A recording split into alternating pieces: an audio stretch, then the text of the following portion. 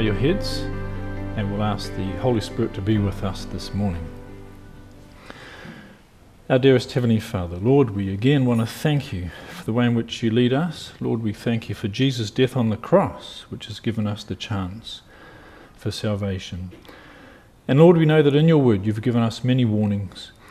We pray now, Lord, as we study through your word, that you'll help us to appreciate and understand the message, especially as it pertains for us in these last days.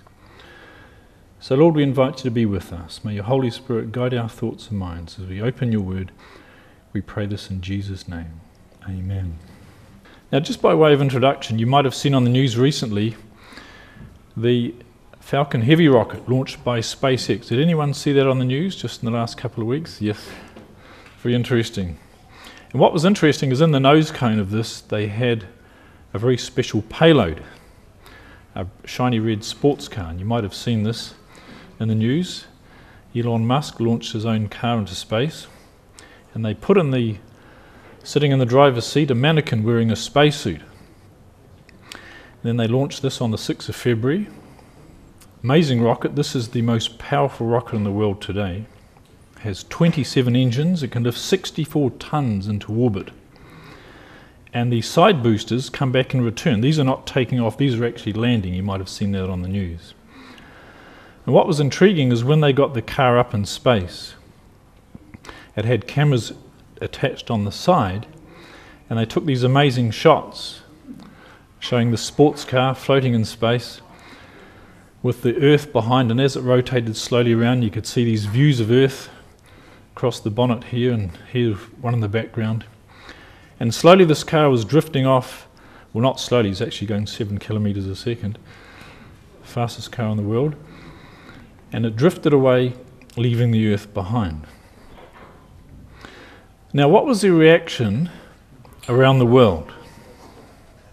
And of course, many people thought this is amazing, but there is a large number of people that think just about everything we see today is fake. And so, if you get on YouTube and look this up, you find a lot of people saying this is all a hoax. This is all CGI, computer graphics. And you'll find memes like this space is fake, flat earth is real. You know, there's an amazing large number of people today believe that the earth is flat. Have you heard that? And there's even funny memes I get got sent this one about Nicholas Copernicus watching flat earth conspiracy videos on YouTube for five hours and then he says I was wrong. and that's the trouble today. There's so many theories out there, what they're called conspiracy theories. If you get on YouTube or on Wikipedia, for example, there's a whole list of conspiracy theories.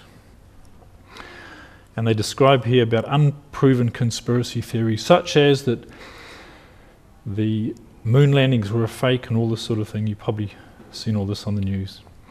They do make an interesting comment here. It says they're not to be confused with research concerning verified conspiracies, such as Germany's pretense for invading Poland in World War II. So Wikipedia acknowledges there are conspiracy theories which are true. But you know, if you base your information on YouTube or on Wikipedia or on the media, will we ever come to the truth? Because there's so many conflicting theories out there, isn't there? If you take a position on something, you get on the internet, you'll find somebody who opposes that view. So, what's the best source of information today? Somebody said, yes, the Bible. We have to go back to the Word of God. And if we rely, rely on that, we're, in sorry that, we're on safe ground. So, we want to look this morning at what does the Bible say and what is the conspiracy theory the Bible tells us about that's going to deceive the world. Now, you might recall Jesus when he was talking to his disciples on the Mount of Olives. They asked him about the end of the world. And notice what Jesus says. When they asked him the question, What shall be the sign of thy coming and of the end of the world? And the first thing Jesus said was this in verse 4 Jesus answered and said unto them, Take heed that no man deceive you. The very first thing Jesus says was, Take heed that no one deceives you. Down in verse 11, he says, Many false prophets shall rise and deceive many. There's that word deceive again.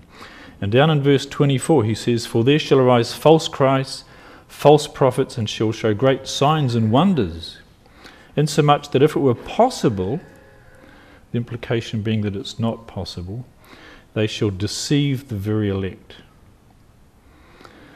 So, where does all this deception come from?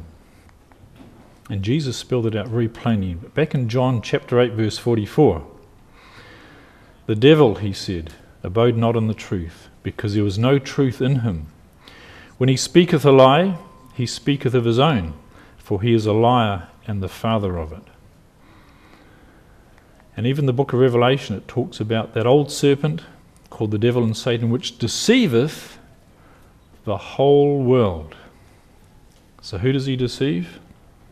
Basically, everybody. Also, Satan has some accomplices. For example, Babylon. It says that great city Babylon, by thy sorceries were all nations deceived. And this Babylon city has an accomplice. It says, The beast that was taken, and with him the false prophet that wrought miracles before him, with which he deceived them that received the mark of the beast. So we find here the beast and the false prophet are going to be those that are going to deceive the world and ultimately deceive them that received the mark of the beast. Now, what's going to happen to Satan as a result of all his deceptions? Satan, it says, is going to be cast into a bottomless pit and shut him up, it says. And they're going to set a seal upon him that he should deceive the nations no more till the thousand years were fulfilled. And after that, he must be loosed a little. So Satan is going to be locked away, so he won't be able to deceive. But what will happen at the end of that thousand years? It says, He shall go out to deceive the nations which were in the four quarters of the earth, Gog and Magog, to gather them together for battle. So even after he's been locked up for a thousand years, Satan is again going to go out to deceive the nations. And finally, his doom is this it says, The devil that deceived them, here's this deception coming in again, was cast into the lake of fire and brimstone. So we know there's going to be a lot of deception in the last days. The whole world is going to be deceived according to Bible prophecy, except the elect. And we want to be part of that, don't we? So, who's going to rule the world? What are the powers that Satan's going to use to lead the world into deception? That's what we're going to look at this morning. A brief a brief Bible study. And we find the two powers, the key powers that are going to deceive the world, depicted in Revelation chapter 13. There's this beast that comes out of the sea and a beast that comes out of the land. And the Bible tells us regarding this first beast, it says, All the world wondered after the beast. So the whole world is going to wonder at this entity, whatever it is. It says, Power is given him over all kindreds, tongues, and nations in verse 7. So this is going to be a powerful entity. And ultimately, verse 8, it says, All that dwell upon the earth shall worship him.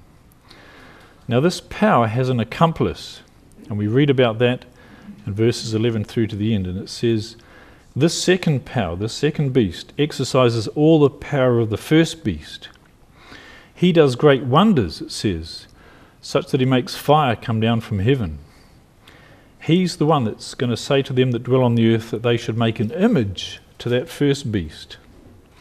And then he causes all to receive a mark. So we're going to look this morning at who these powers are, who these beasts represent. And first of all, we're going to look at that first beast, the beast from the sea. And we find this depicted in Revelation chapter 13 and verse 1. John, it says, stood upon the sand of the sea and saw a beast rise up out of the sea, having seven heads and ten horns, and upon his horns ten crowns, and upon his heads the name of blasphemy. Now, why should we be worried about this beast? Why should we be concerned? It's because this beast has a mark. And in chapter 14, God has this warning message very plain and simple. If any man worship the beast and his image, and receive his mark in his forehead or in his hand, the same shall drink of the wine of the wrath of God. This is a life and death issue. So we need to understand who this beast is and what this image is all about. And this is the warning that God's given us in His Word.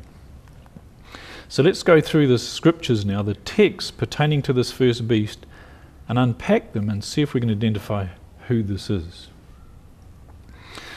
So here comes a beast rising up out of the sea. Now, straight away, we're on familiar ground. What is a beast in Bible prophecy?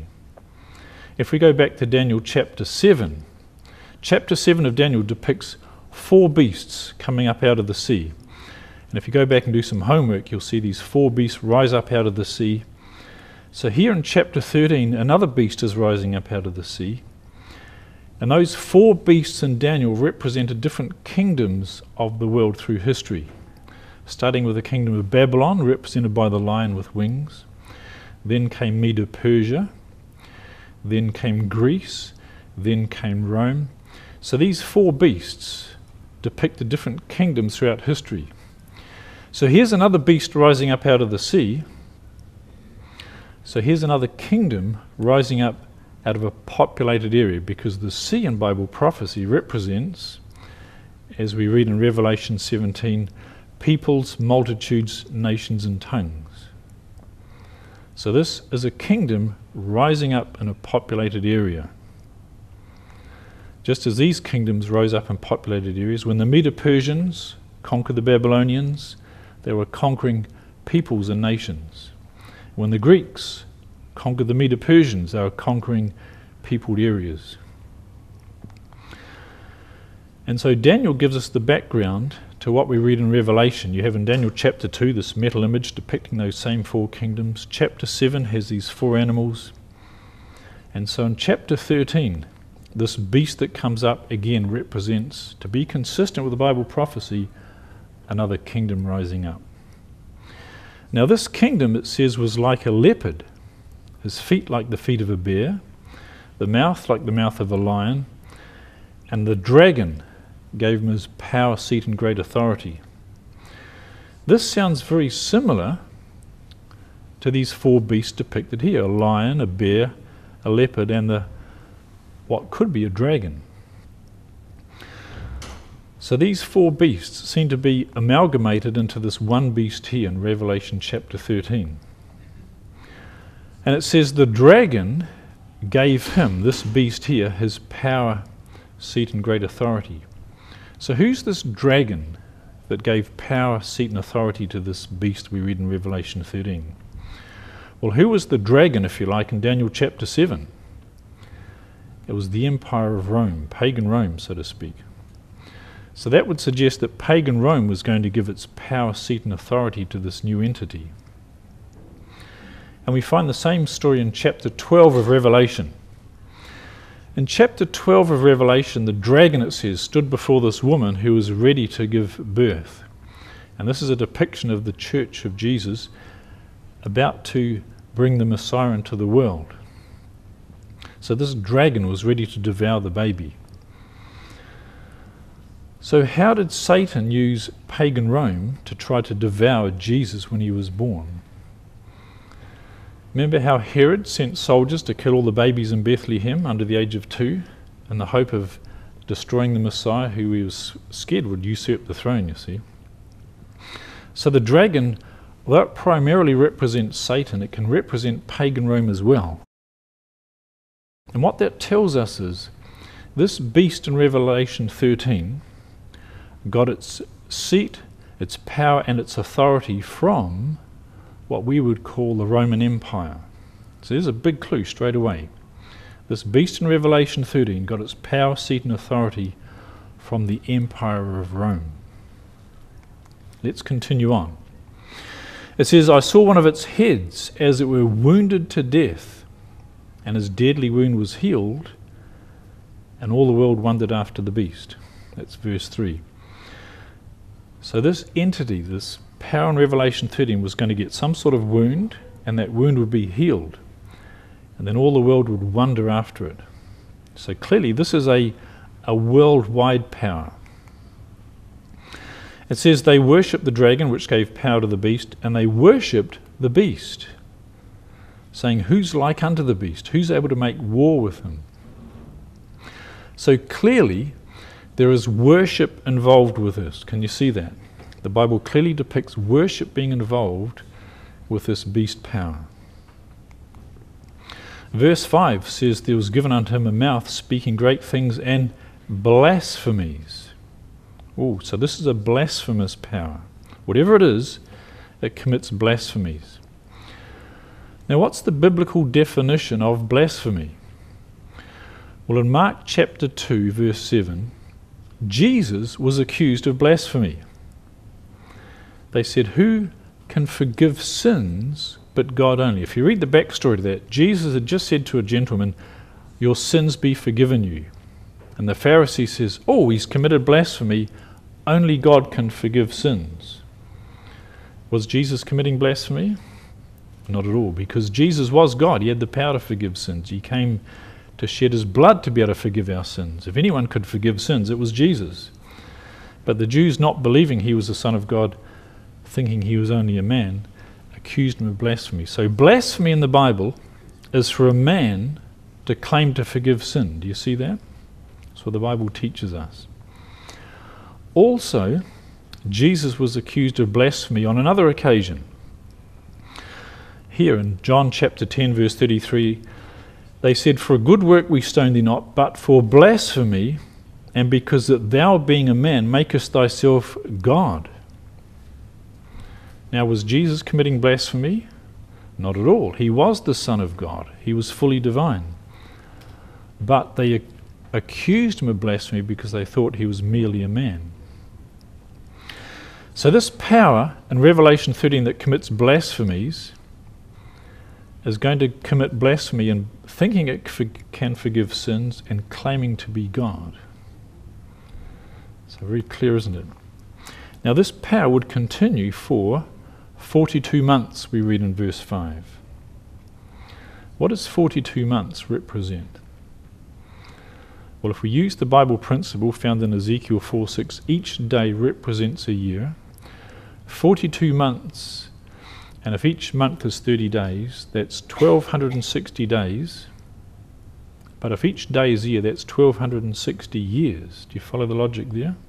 So this power would reign for 1260 years. That's a long time. Not many kingdoms ruled for that long. So this should be narrowing it down as to which power this is. Verse 6 talks about how he opened his mouth and blasphemy against God, to blaspheme his name and his tabernacle and them that dwell in heaven. So this power is very blasphemous. It's double, doubly emphasized here in the book of Revelation. And it's blasphemy against God, his name, and his tabernacle. We'll see if that fits when we discover who this power is. It says it was given unto him to make war with the saints and to overcome them. So this power obviously martyred Christians. Can you see that? This is what the Bible is telling us. And yet in verse 8 it says, All that dwell upon the earth shall worship him. So clearly, this is a worldwide power, it's a global entity in its influence and power and it involves worship. But something's going to happen to this beast. It receives a deadly wound, and we read in Revelation 13, verses 9 and 10, that says, He that leadeth into captivity shall go into captivity. He that killeth with a sword must be killed with the sword. So, this power which would lead into captivity and kill with a sword would itself have these inflicted upon it. Finally, the Bible tells us, Here is wisdom, let him that hath understanding count the number of the beast. For it's the number of a man, and his number is 666. So, with all these clues, it's not difficult to identify who God is telling us to be cautious of in these last days. The beast is a kingdom made up of all these empires in the past, elements of them merged together. It received power, seat, and authority from the Roman Empire. It would reign for 1260 years. It would receive a deadly wound which would get healed. It would lead into captivity, but end up being led itself into captivity. It killed with a sword, but itself would be killed by a sword. It's a worldwide power, has a mouth speaking great things, claims to forgive sins, for example. It martyred Christians, it's a religious power, and has the number of a man, number 666. So tell me, what religious kingdom fits all these specifications? And there's only one, isn't there? God's given us plenty of clues to identify this power that's going to be crucial in the last day events. And what we're about to share is nothing new. This is known by many reformers and founders of various denominations. For example, John Wesley. Have you heard of John Wesley? Founder of the Methodists. Here was his comment. You can read these notes, you can look these up online. This is public knowledge. He says, O reader, this is a subject wherein we also are deeply concerned, and which must be treated not as a point of curiosity, but as a solemn warning from God. The danger is near. This beast is the Romanish papacy. That was his identification. Is that fair? We'll have a look. What about Martin Luther? What did he say? The kingdom of Antichrist is also described in the revelation of John. And this is what we've just looked at, where it is said, Unto him it was given to him to make war with the saints and overcome them. Revelation 13, verse 7. So Martin Luther is quoting that passage here from Revelation 13. And he says of this, We must, on investigation, understand that of the Pope's abominations and tyranny in temporal respects. So Martin Luther identified this power in Revelation 13 as being the papacy. You know, this power is a counterfeit. When you look at Jesus, and the Bible identifying marks for Jesus, and this entity in Revelation 13, you'll find that this power is counterfeiting Christ's ministry. Jesus was a lamb, this power is a beast, or an animal, so to speak. Jesus rose from water after his baptism to begin his ministry. This power in Revelation 13 also rises out of water. Christ's ministry lasted literally 42 months, three and a half years. This power is going to reign for 42 months, prophetic months. Jesus sits on God's throne. This power sits on the dragon's throne. Jesus died and was resurrected. This power also received a deadly wound and died and was resurrected. Jesus can forgive sin. This power claims to forgive sin. And all who follow Christ will be saved and will worship Jesus. Sadly, the lost who worship this beast worship the wrong, the wrong power, shall we say. So there's only one system that fits all these clues. Well, Luther, Wesley, and other reformers correct when they identified this power as being the, the entity of Rome, the power of the Roman Catholic Church? Well, let's go through the points again and see how it fits very, very well the Vatican. For example, is this power a kingdom in its own right? And here's an interesting quote from the Catholic Encyclopedia. They say sovereignty over Vatican City is exercised by the Pope and his function as supreme head of the Catholic Church. The 50 or so countries maintaining permanent diplomatic relations with it implicitly recognize its sovereign status. The very fact that countries send ambassadors to the Vatican show that they recognize this power, this church, if you like, as a kingdom, as a, as a sovereign nation. Do you see that? There's no ambassadors to the Dalai Lama, for example, but they send ambassadors to the Vatican. So they recognize the Vatican as a sovereign country in its own right. It's a kingdom. And the Pope is effectively the king of this little kingdom. Now, what about the fact that it's made up of those four beasts from Revelation, from Daniel chapter 7? And here's an interesting quote from a book called The Catholic Spirit by André Rétif.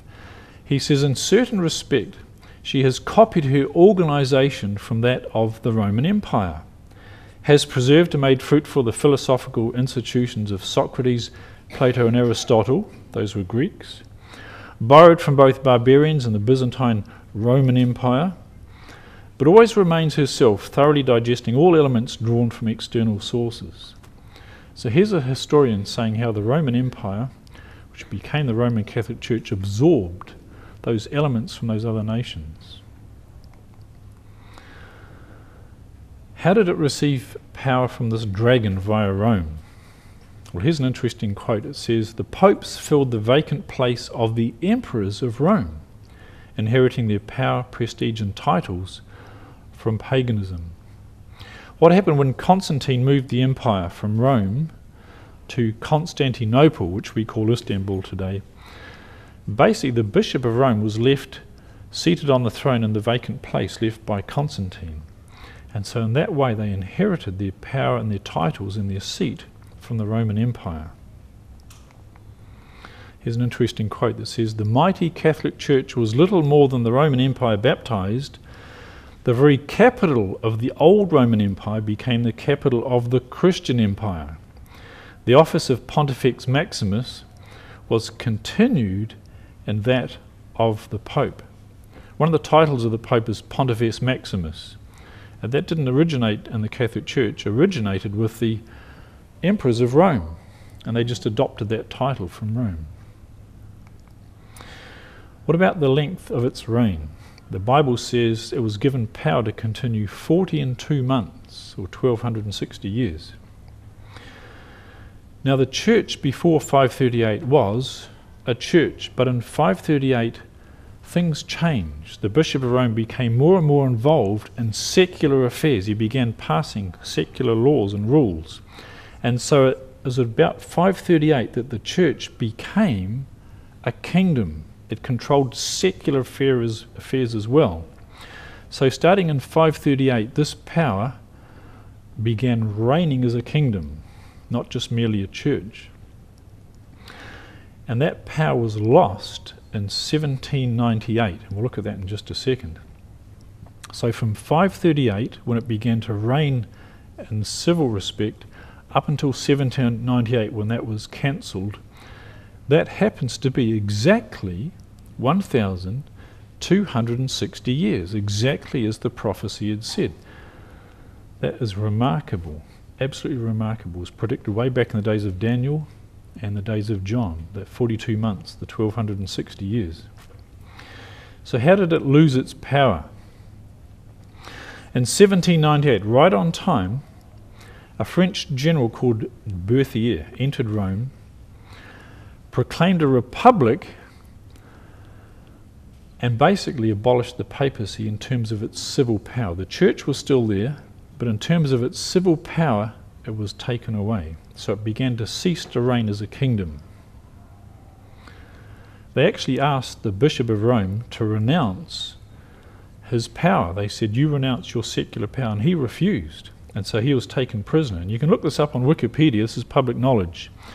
You can see where it says he was expelled from the Papal States by French troops in 1798 until his death one year later in Valence. He was taken back to France. So in 1798, he was expelled from Rome, and the French army abolished their power right on time. And quotes at the time say this the papacy was extinct, it had no more secular power. Not a vestige of its existence remained. All its lands were confiscated, you see. Its bishop was dying, a captive in foreign lands, and the decree was already announced that no successor would be allowed in his place. Well, of course, they kept electing new bishops of Rome, the new popes, but he had no secular power anymore until something happened. The deadly wound was healed. And this was done under Mussolini. The healing began when they were given some land back. Mussolini signed a deal with the Vatican to give back some lands that were confiscated. And it's interesting, up until then, they called it the Roman question. Rome was saying, We had all our lands taken away, we want them back. And in 1929, this is reported in the San Francisco Chronicle, the Roman question tonight was a thing of the past, and the Vatican was at peace with Italy. And affixing the autographs to the memorable document, healing the wound, interesting language there, healing the wound, extreme cordiality was displayed on both sides. So now the Vatican had some land back, and it's now its own sovereign country. It issues its own coins. its own passports, its own stamps, it has its own police force. Countries send ambassadors to it. It's now again a sovereign country. So the wound is healing. And if you visit the Vatican, here's a picture I took where you can see you've got the Basilica of St. Peter on the left, straight ahead. But if you want to go to the city state of the Vatican, you turn right. Do you see that? So here you've got church and state the Basilica of St. Peter and the city state of the Vatican. So it's a church and state combined once again. And as the Bible says, all the world wondered after the beast. Do we find that today? Yes, the world pays great homage to this little tiny kingdom, the smallest country in the world. What about the identifying mark that it was speaking great things and blasphemies? Well, here's some quotes from Catholic sources. The Pope has power to change times and abrogate, that means change laws, and to dispense with all things, even the precepts of Christ. Do you believe that? This is a principle they hold. They believe they have the power to change even what Jesus himself established. That's a fairly great thing to claim, isn't it? It says, There was given unto him a mouth speaking great things and blasphemies. They even believe they've changed the times that God established, the Sabbath day. Here's an interesting quote from a catechism. This is a Catholic writer saying, Had she not had such power, she could not have substituted the observance of Sunday, the first day of the week, for the observance of Saturday, the seventh day, a change for which there is no scriptural authority. And again, this shows the principles that the system works on. They believe they have the power to change things that God established without any scriptural authority. And that's what makes it this blasphemous power. Very serious. Here's some other interesting quotes from a Catholic source. The Pope is supreme judge of the law of the land. He is the vice regent of Christ and is not only a priest forever, but also King of kings and Lord of lords. Now tell me, who has the title in the Bible King of Kings and Lord of Lords. Exactly, you said it, Jesus. How could a man adopt that title? That's blasphemous, folks. Sorry about that. But that's a title that only belongs to Jesus, not to any human being. Do they claim to be able to forgive sins? Yes, they certainly do. Here's a quote from a, a catechism Does the priest truly remit, that means forgive sins, or does he only declare that they're remitted? the priest does really and truly remit the sins in virtue of the power given him by Christ. They believe they have the actual power to do what only the blood of Jesus can do, and that is cleanse people of sin. That, dear folks, is blasphemous. And here's another one. The Pope is not only the representative of Jesus Christ, but he is Jesus Christ himself hidden under the veil of flesh. Now you think that sounds a bit strange. But you know, this is a common thought within Catholicism. For example, John Paul II, that well known Pope, wrote a book called Crossing the Threshold of Hope. You can see it here by His Holiness John Paul II. And in this book, he makes an interesting statement. He's quoting a journalist and he publishes it in his book. And this is what it says Confronted with the Pope, one must make a choice the leader of the Catholic Church is defined by the faith as the vicar of Jesus Christ and is accepted as such by believers.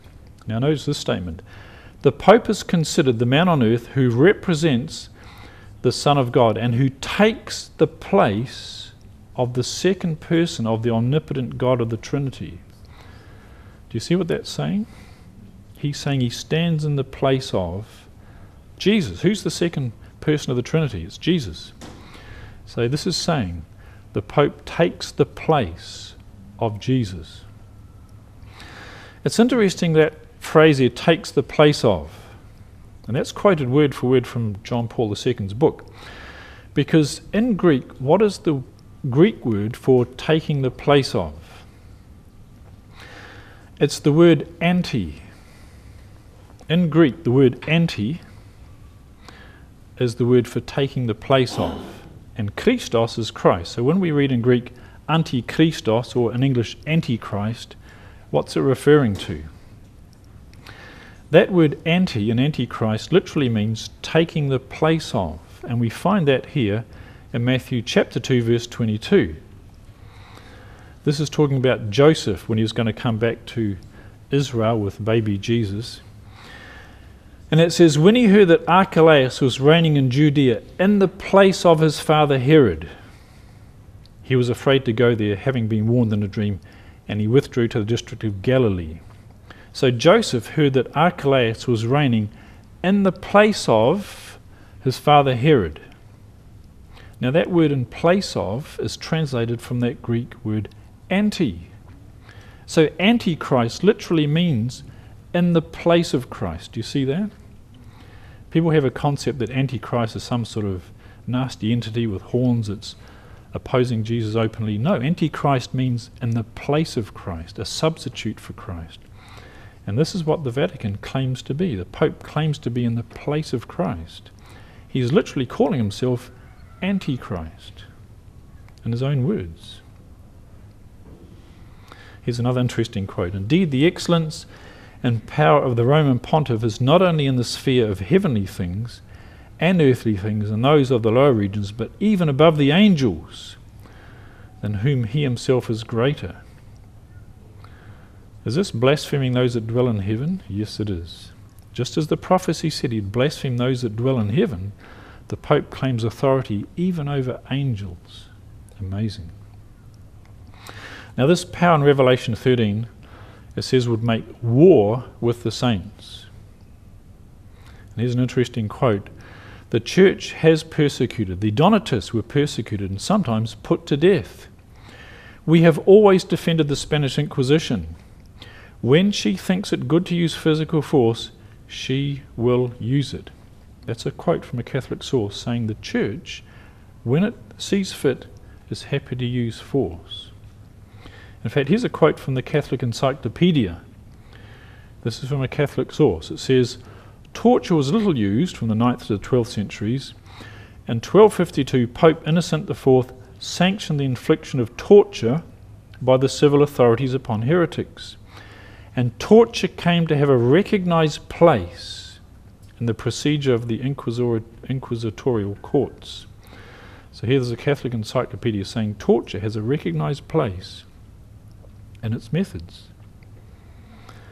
That's why we saw what we saw during the Dark Ages. Such horrible things were done because they believed it was acceptable to do this.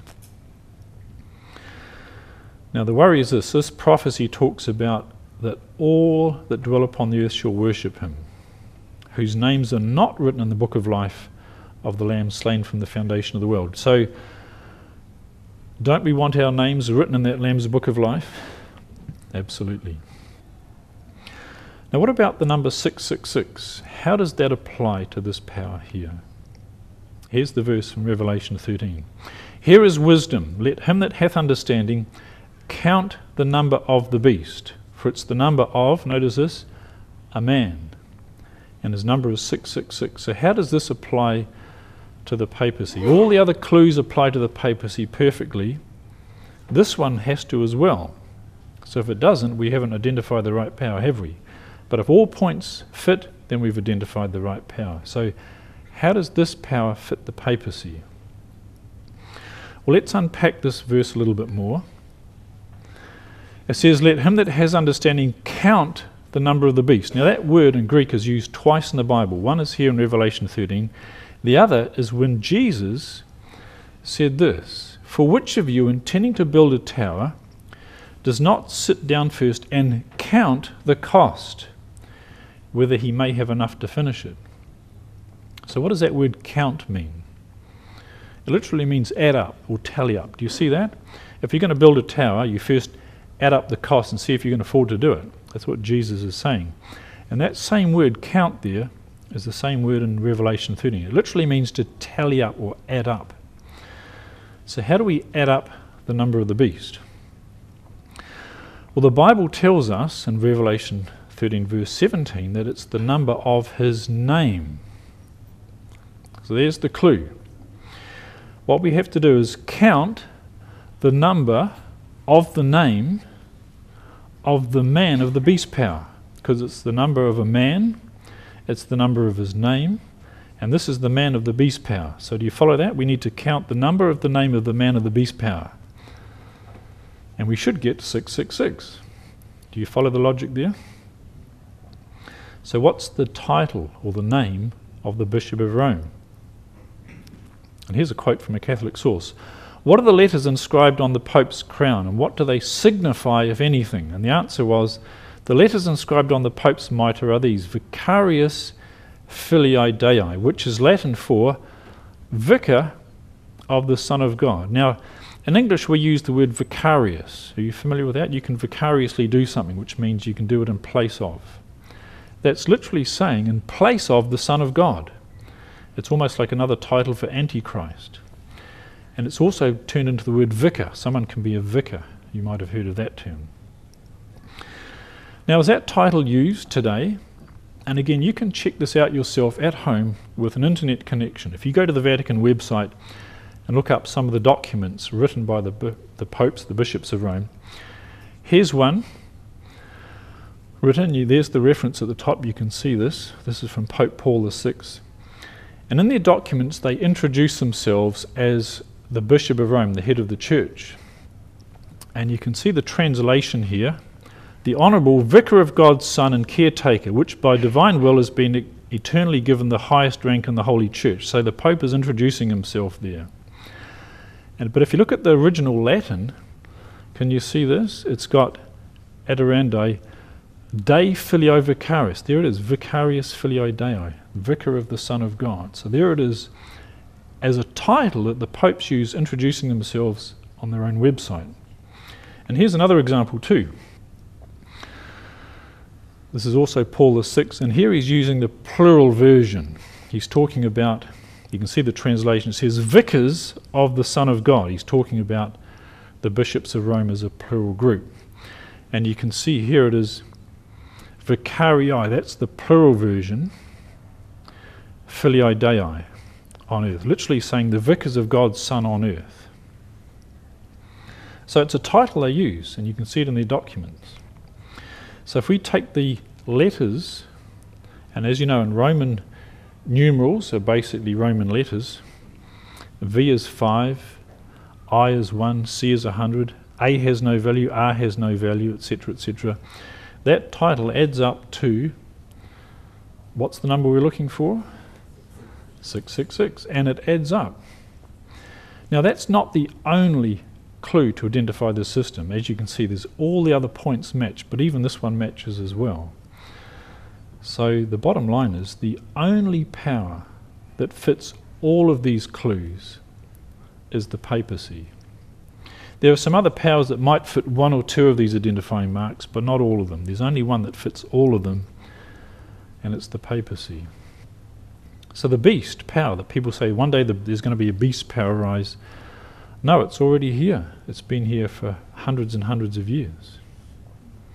Now, this power in the past had enormous influence. It used to crown the heads of Europe. Here's a painting showing Pope Leo III crowning the King of France, for example. They had enormous power and influence over Europe. And they would like that power back again.